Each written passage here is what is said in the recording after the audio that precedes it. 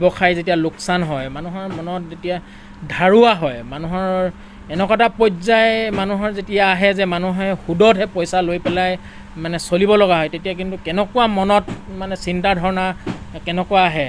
এখন ঘৰ পৰিচালিত কৰিবৰ বাবে বা মই সমাজখনক একো এটা যদি মই দিব নোৱাৰোঁ তেতিয়া কিন্তু মোৰ জীয়াই থকাৰ কোনো ধৰক অধিকাৰ নাই বুলি মই নিজকেই মাজত মই মানে ভাবি লৈছিলোঁ। সংগ্ৰাম অবিহনে এজন মানুহে বুজিব নোৱাৰে জীৱন কি।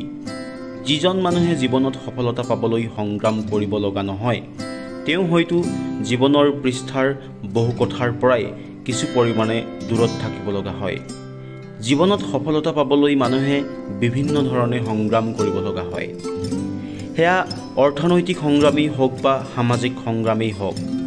মাথো এটা কথাই সত্য সংগ্ৰামে মানুহক এটা নতুন জীৱন দিয়ে। কোনোবাজনে সংগ্ৰাম কৰি ভাগৰি পৰে আৰু কোনোবাজনে সংগ্ৰাম কৰি এদিন সফলতাৰ শিখৰত অৱস্থান কৰে। যি সংগ্ৰামৰ কাহিনীয়ে আপোনাকো ভাগৰি নপৰাকৈ সংগ্ৰাম কৰিবলৈ বহু পৰিমাণে সাহস দিব। আজি আমি আপোনালোকক চিনাকি কৰাই দিম জীৱনত প্ৰতিটো সময়ত সংগ্ৰাম কৰি আজিৰ দিনত সফলতা লাভ কৰিবলৈ সক্ষম হোৱা এইজন বিশেষ ব্যক্তি আৰু তেওঁৰ পত্নীক যি সংগ্ৰামৰ কাহিনীয়ে আপোনাকো ভাগৰি নপৰাকৈ সংগ্ৰাম কৰিবলৈ বহু পৰিমাণে সাহস দিব। আপুনি স্ক্ৰীণত দেখা এই ব্যক্তিজন ডিব্ৰুগড়ৰ স্বাক্ষৰজ্যোতি বৰগোহাঁই আৰু এয়া তেওঁৰ পত্নী সংগীতা বৰগোহাঁই। স্বাক্ষৰ আৰু সংগীতাই জানে জীৱন সংগ্ৰামত সফলতাৰ কৃতিপ সমাজত অৰ্থনৈতিকভাৱেই হওক বা সামাজিকভাৱেই হওক প্ৰতিষ্ঠা হ'বলৈ বিগত বহু বছৰৰ পৰা দুয়ো একেলগে কৰিছিল সংগ্ৰাম। আৰু এই দীঘলীয়া সংগ্ৰামৰ অন্তত স্বাক্ষৰ আৰু সংগীতাৰ এইখন বিশেষ ৰেষ্টুৰেণ্ট যিখন ৰেষ্টুৰেণ্টত উপলব্ধ আহোম জনগোষ্ঠীৰ বিভিন্ন খাদ্য। মাত্ৰ সাতশ টকা হাতত লৈ স্বাক্ষৰজ্যোতিয়ে আহোম জনগোষ্ঠীয় খাদ্যৰ ব্যৱসায় আৰম্ভ কৰিছিল। ডিব্ৰুগড়ৰ পৰা আৰম্ভ কৰি অসমৰ বিভিন্ন প্ৰান্তত হোৱা বাণিজ্য মেলাসমূহত এই খাদ্য সম্ভাৰ লৈ ঘূৰি ফুৰিছিল স্বাক্ষৰজ্যোতিয়ে এই সংগ্ৰামৰ সময়ছোৱাত তেওঁ কেতিয়াবা ভাগি পৰিছিল। কেতিয়াবা তেওঁৰ মনলৈ আহিছিল সকলো শেষ কৰি দিয়াৰ। জীৱন সংগ্ৰামত বিফল হোৱাৰ কথা ভাবি কেতিয়াবা তেওঁ চিন্তা কৰিছিল নিজকে শেষ কৰি দিয়াৰ। কিন্তু এষাৰ কথা আছে ধৈৰ্যৰ ফল সদায় মিঠা হয় আৰু সেই কথাকেই প্ৰমাণ কৰি দেখুৱালে এই দম্পতীহালে বিপণীখন দিবলৈ আমি যেতিয়া চিন্তা চৰ্চা কৰিলোঁ খাদ্যৰ বিপণীখন তেতিয়া হাতত মাত্ৰ মোৰ সাতশ টকা আছিল। সাতশ টকাত এতিয়া বিপণীখনৰ এডভান্সো দিব লাগে। যিহেতু বিপণীখন প্ৰাইভেট ছেক্টৰ যিহেতু আছিল কোনোবা এটা জনগোষ্ঠীয় অনুষ্ঠান যিহেতু আছিল বিপণীখনত বিভিন্ন ধৰণৰ খৰচ পাতিৰ কথা থাকে। বিপণীখনত দিবলৈ এডভান্সৰ দৰকাৰ আছে। এতিয়া মোৰ হাতত অকল সাতশ টকা আছে। সাতশ টকাই দি মই কেনেধৰণে ষ্টাৰ্ট কৰিম? সেইটো লৈ বহুত চিন্তা চৰ্চা হৈছিল মোৰ। যেতিয়া মই বিপণীখনত মোক বিভিন্নজনে মোক সহায়ো কৰিল বা এডভান্স মানে দিয়া নিদিয়াক লৈ মানুহে সহায়ো কৰিল। সহায় কৰাৰ পাছত এতিয়া মোৰ সাতশ টকা দি মই বিপণীখন ষ্টাৰ্ট কৰিব লাগে। বিৰাট দুধুৰ দুমুৰ মানে চিন্তা এইটো কেনেধৰণে হ'ব নহয়। সাতশ টকা দিলে মোৰ প্ৰফিট হ'বনে নহয়? কাৰণ যিহেতু মই আগতে এই গোটেই ছিষ্টেমটোৰ বিষয়ে মই নাজানো কাৰণ আগৰ পৰাই মই সেইটো দিয়াৰ কোনো মোৰ তেনেকুৱা অভ্যাস নাই বা মই ক'তো গৈও পোৱা নাই তেনেকুৱা ধৰণৰ বিপণীত বিপণী দিবৰ বাবে। যেতিয়া মই বিপণীখনলৈ বস্তু যেতিয়া লৈ গৈছোঁ যে মাংস ধৰক মই মাংস চাংস মই এক দুই কিলো লৈ গৈছোঁ বা মই অলপ ধৰণৰ পিঠা লৈ গৈছোঁ অলপ মই টোপোলা ভাত ঘৰতে মই বনাই অলপ দুই তিনিটামান লৈ গৈছোঁ মানে চাৰি পাঁচটামান লৈ গৈছোঁ মই ভাবিছোঁ যে মানুহ ইমানে খায় নে নেখায় নে খাবনে নে কি কৰিব ধৰক মানুহৰ এই পোৰা মাংসবিলাক বা মাছবিলাক এই দুজনী তিনিজনী মাছ লৈ গৈছোঁ বা তাতে এই সাতশ টকাতে চব বস্তু মই মিলাই লৈছোঁ। তো তেতিয়া মানুহে কি হৈছে তাৰ ওচৰত যিসকল মানুহ দিবলৈ আহিছে তেওঁলোকে মোক চাই খুব হাঁহিছে তেতিয়া। তেতিয়া মই কৈছোঁ যে আমি তেতিয়া দুয়ে আমি কথাও পাতিছোঁ। যে মানুহেচোন আমাক দেখি হাঁহিছে। তে মানে কি হৈছে মানে কথাটো? নে আমি দিব জনা নাই? নে আমি নে ভুল কৰিছোঁ কিবা? এনেকুৱা ধৰণৰ বিভিন্ন প্ৰশ্ন মানুহৰ মুখলৈ আহে। তেতিয়া মোৰ গ্ৰাহক দুজনমান আহিল। গ্ৰাহক দুজনে আহি ক'লে যে অকণমান টেষ্ট কৰি চাওঁচোন। মই সেই বিপণীখনত কিন্তু মোৰ ঘৰত বনোৱা মই অলপ লোক লাও লৈ গৈছোঁ। লোক লোৱা মানে আমাৰ সাধাৰণতে এইটো আমাৰ যিটো ৰহি বুলি কয় সেই ৰহিটো মই লৈ গৈছোঁ দুই তিনি বটল। মানুহে খুব হাঁহিছে তেতিয়া। যে মই মই ভুলতো ভবা নাই যে মানুহেও ইমান ধৰণে যদি এটা ভাল বস্তু বা খাদ্য প্ৰেৰণ কৰা হয় তেতিয়া যে মানুহে ইমান সোনকালে যে আদৰি ল'ব পাৰে সেই বস্তুটো মই সেই বিপণীখনত গৈহে মোৰ উপলব্ধি হ'ল। আমি যেতিয়া এবাৰ অলপ অলপ টেষ্ট কৰি চাবৰ কাৰণে মানুহক যেতিয়া দিছোঁ মানুহে খাই তেতিয়া বৰ আচৰিত পালে।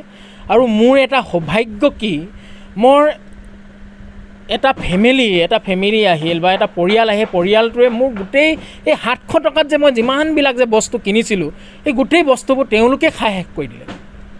তো মোৰ মোৰ আনন্দৰে একেবাৰে বাট নধৰা হ'ল। আৰু মোৰ দুচকুৰে চকুলো বৈ নিগৰি বৈ আহিছে।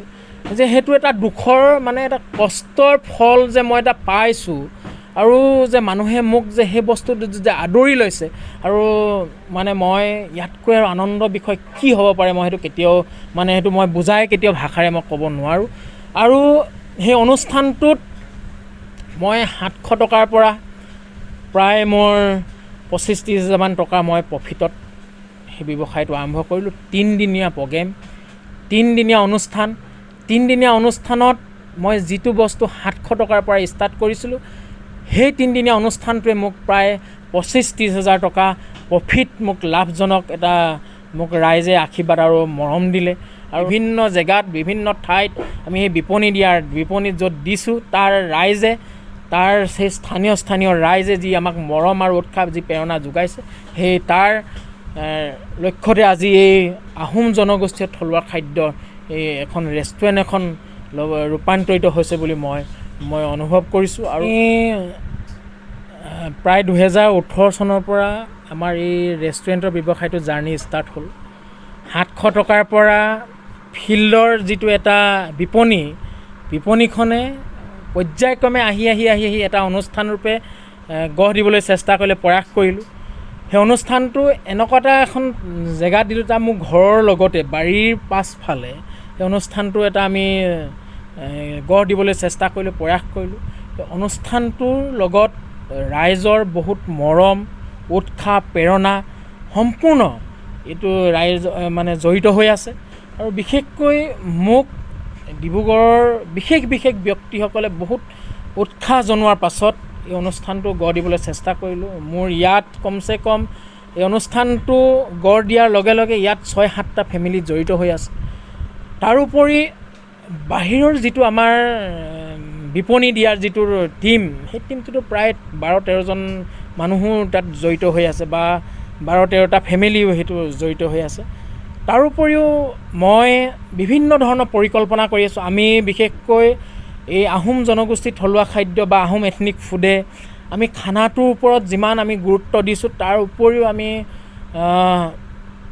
থকাৰো ব্যৱস্থা পৰ্যায়ক্ৰমে আমি কৰিবলৈ মানে চেষ্টা কৰিম বুলি ভাবিছোঁ। আৰু ইতিমধ্যে মই এটা থলুৱাভাৱে গেষ্ট হাউচ এটাও আমি মই প্ৰস্তুত কৰিছোঁ লাহে লাহে। প্ৰায় দুই তিনি মাহৰ মানৰ ভিতৰত সেইটো আমাৰ প্ৰায় ৰেডি হ'ব। সংগ্ৰাম কৰি আজি দম্পতীহাল পৰিৱৰ্তিত হ'ল সফল ব্যৱসায়ীলৈ। চিনাকি দিব পৰাকৈ দুয়োৰে ডিব্ৰুগড় চহৰত হ'ল এখন আটকধুনীয়া ৰেষ্টুৰেণ্ট। যিখন ৰেষ্টুৰেণ্টৰ মাজেদি দম্পতীহালে জনপ্ৰিয় কৰিব বিচাৰিছে নিজৰ জাতিটোৰ স্বকীয় খাদ্যসমূহ। আৰু সেইধৰণে আজিৰ দিনত সফলো হৈছে স্বাক্ষৰ আৰু সংগীতা। লাহে লাহে ব্যৱসায়ৰ পৰিসীমা বহল কৰিবলৈ চেষ্টা কৰিছে দুয়োৱে। সুকীয়া চিন্তাৰে ব্যৱসায়িক ক্ষেত্ৰত সফল হোৱাৰ সপোন বান্ধি লৈছে দুয়োজনে। লক্ষণীয় যে স্বাক্ষৰজ্যোতি এজন জাতীয়তাবাদী চিন্তাধাৰাৰ ব্যক্তি। এসময়ত সদৌ অসম ছাত্ৰ সন্থাৰ মজিয়াত থাকি জাতীয়তাবাদৰ আখৰা কৰিছিল তেওঁ। সেই জাতীয়তাবাদক লগত লৈয়ে স্বাক্ষৰে চেষ্টা কৰিছে পথাৰ আৰু বজাৰ অসম আৰু অসমীয়াই দখল কৰাৰ। আৰু এটা কথা বুজাই দিছে জীৱনত সংগ্ৰামৰ পৰা সফলতা পাবলৈ প্ৰয়োজন মাত্ৰ এখন সহায়ৰ হাত সাহসৰ হাত।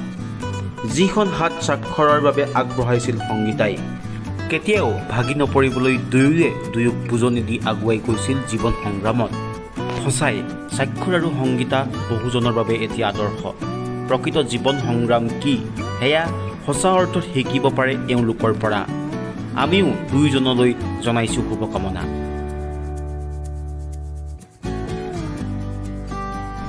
ডিব্ৰুগড়ৰ পৰা ৰক্তিম দাসৰ প্ৰতিবেদন লোকেল এইটিন